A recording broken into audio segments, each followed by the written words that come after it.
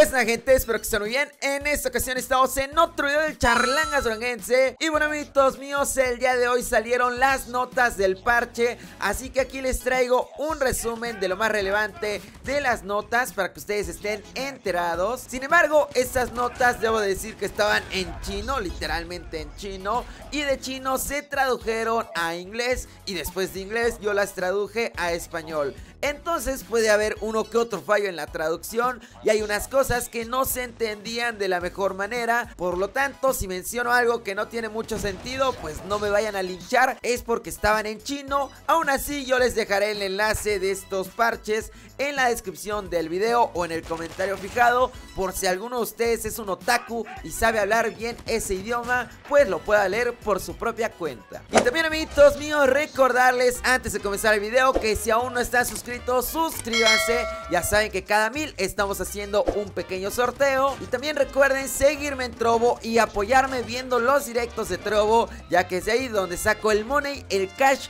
el dinerito para que yo pueda traerles sorteos a ustedes. Así que no olviden apoyarme en aquella plataforma. Pero bueno, ya sin más dilatación, vamos a comenzar. Los de COD comienzan con algo que ya todos sabemos, con la personalización de las armas. Pero aún así, si ustedes han estado viviendo bajo una roca y no saben muy bien de qué va esto, aquí se los explicaré. Nos dicen que ahora van a haber más de 100 accesorios dentro del juego, por lo tanto las configuraciones de las armas van a ser casi infinitas. Actualmente las armas tan solo pueden llegar a nivel 12 o 10, pero ahora en esta nueva actualización todas las armas van a superar el nivel 50 Y obviamente van a haber accesorios que van a ser exclusivos de un tipo de arma. Por ejemplo los snipers van a tener unas miras que una escopeta no va a poder tener. Pero aún así la escopeta va a tener 50 accesorios así que no debemos de preocuparnos. Y pues también vamos a tener ahora 10 slots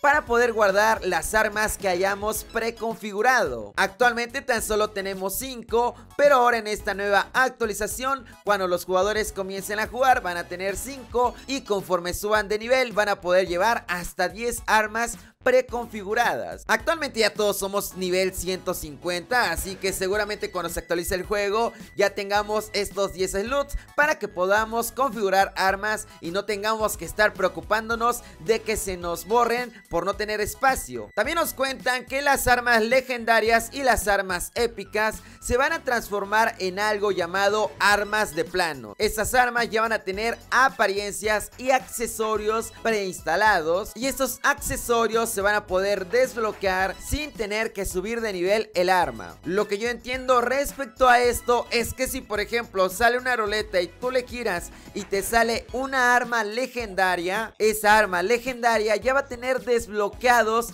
algunos accesorios, cosa que no pasaría con una arma de rareza azul o verde ya que en esas armas vas a tener que jugar para aumentar el nivel del arma o en otro caso vas a tener que gastar tarjetas verdes o azules para subirlas de nivel. Y hablando de las armas azules o verdes, también nos dicen que estas armas se van a transformar en patrones de camuflajes. Esos patrones los vamos a poder aplicar a las armas que creemos, lo cual está bastante chido porque si tú tenías una skin de rareza azul que te gustaba mucho, pues se la vas a poder poner a tu arma modificada sin que esta pierda su nueva apariencia. También nos hablan un poco de las estadísticas y nos dicen que cuando tú le pongas un accesorio a las armas, obviamente esto afectará sus estadísticas ya sea a favor o en contra. Y también ahora las estadísticas nos van a mostrar realmente el rendimiento de cada arma en el campo de batalla. De esto muchos estaban preocupados porque por ejemplo en la beta decía que la PvB de daño hacía 30 y en la versión actual hace como 90 o algo por el estilo. Pero ahora las estadísticas van a estar un poco más precisas y van a decir realmente cuánto daño, cuánto alcance, cuánta movilidad tiene un arma ya ahí en el campo de batalla, que es lo que importa. Así que no se preocupen, no significa que las armas vayan a ser nerfeadas, sino que van a mostrar ahora sus verdaderas estadísticas. Y bueno, para los nuevos jugadores o para los que son malos jugando como yo y no conocen nada acerca de las armas, el juego nos va a dar la opción de poder recomendarnos una configuración para el arma que queramos. Así no nos vamos a tener que quebrar la cabeza eligiendo qué culata ponerle, qué empuñadura ponerle, sino que solito el juego nos va a recomendar lo mejor para nuestro estilo de juego. Obviamente eso está bien para los nuevos jugadores, pero yo sí creo que lo divertido de esta implementación es que tú experimentes poniéndole esta cosa para acá, otra para allá y así para ver cómo se convierte el arma en Super Saiyajin. Por otra parte nos confirman las recompensas del pase de batalla y para el pase gratuito va a ser esta nueva arma que es la K98 pero que aquí se va a llamar Bolt Action y también va a estar la nueva racha que va a ser una torreta con escudo que se puede poner en el suelo y tú la puedes maniobrar. Dentro del pase de batalla que cuesta dinero, vamos a tener los personajes de Víctor Reznov, al Nicto, también al científico y a Kravchenko. Y dentro de las armas del pase que va a costar va a ser una M16, un striker y también un camuflaje para la nueva arma K98 Bolt Action. Y como en cada temporada van a haber eventos en los cuales vamos a poder ganar personajes, skins de armas y cosas por el estilo. Y aquí nos dicen que por ejemplo vamos a poder ganar una skin de la MSMC que se llama Rosy. Esta va a ser de calidad épica pero aún no hay imágenes de cómo se va a ver dentro del juego. Pero bueno, nada más que sepan, para los que sean fans de la MSMC, pues van a poder adquirir una skin gratuita de rareza épica en esta temporada y también una skin de rareza épica de la ICR llamada Retro Nuclear. Asimismo nos hablan de una ventaja llamada Smart Key Hand, la cual va a acelerar el interruptor del arma principal y la velocidad de carga de lanzador. Esto es lo único que de plano no entendí en absoluto, así que si alguien le encuentra sentido a esto, por favor déjenlo en los comentarios. También nos hablan de las recompensas del modo rank, las cuales ustedes ya habrán visto en videos e imágenes que circulan por el internet, pero aquí nos las están confirmando que en efecto van a ser esas las recompensas. También nos dicen que el nuevo mapa para esta temporada va a ser el mapa de Shipment, así que el mapa de terminal pues seguramente aún no llegue, sino hasta la temporada 10 u 11. Y también el nuevo modo de juego va a ser el 10 vs 10, que por cierto yo no sabía que iba a estar disponible en el nuevo mapa Shipment. Así que eso va a estar bien canijo carnal, porque ese mapa es muy pequeño y 10 contra 10 en ese mapa va a ser una locura. Y por su parte, en el realito nos dicen que vamos a poder personalizar una arma y conseguirla en los drops. Esto yo ya se los mostré en otros videos. Por si ustedes quieren ir a ver cómo va a funcionar esto, pueden ir a ver esos videos. Y nos dicen que cada drop va a poder ser utilizado por cuatro personas. O sea que en cada drop vamos a poder obtener cuatro armas personalizadas. Obviamente si tú personalizas dos y vas a un drop y agarras tus dos armas personalizadas, pues ya tan solo van a quedar dos para tus compas del equipo o para otros güeyes que sean enemigos que se encuentren con ese drop. También nos hablan acerca de las cuatro nuevas zonas para el Battle Relito, las cuales yo también ya les mostré en un anterior video. Y nos mencionan el tema de que ahora las armas en el Battle Realito ya van a venir prefabricadas, fabricadas por lo tanto no le vamos a poder poner accesorios ni tampoco vamos a poder quitárselos. Muchos están inconformes en esto, yo no estoy ni conforme ni inconforme, quiero probarlo para ver cómo es este nuevo estilo de juego, para ver si me gusta o para ver si lo detesto. Pero ahorita yo no estoy inconforme, me parece una idea innovadora y vamos a ver ya cuando salga si no termina desesperándonos o si al final de cuentas nos termina gustando. También nos hablan acerca de las ventajas que ahora van a poder llevar las armas.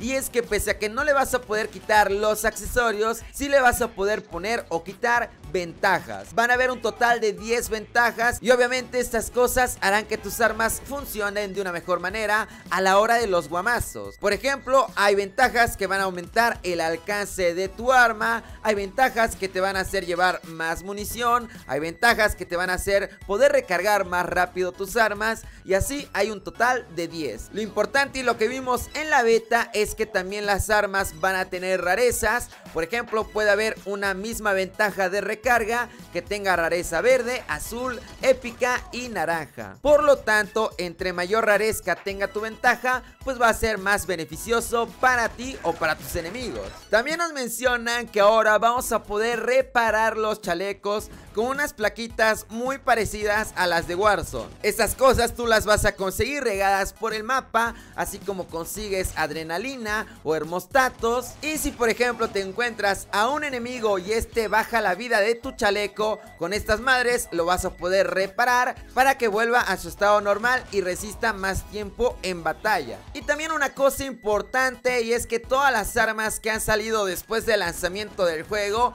las cuales primero salieron en y después acaban en eventos, como la ICR, la Cordite, la HVK30, la GKS, la KN44, la Locus, la Faro, la HBBB, la Manowar y también la Razorback Ahora vamos a poder conseguirlas gratis en los niveles del juego. Y como les digo, actualmente casi todos somos nivel 150, así que en el instante en que esto se actualice, seguramente nos manden por correo de juego las armas que nos van a estar obsequiando. También hay un dato importante y es que aquí nos mencionan que la mayoría de las armas ahora se van a poder obtener antes del nivel 55. Por lo tanto, los nuevos jugadores o los que no le dedican mucho tiempo y aún no alcanzan el nivel 150 no tienen de qué preocuparse ya que la mayoría de las armas se van a poder obtener antes de este nivel. Por lo tanto, todos vamos a poder conseguir muy rápido y fácil todas estas armas. Lo malo es que obviamente estas armas van a ser en skin base o sea,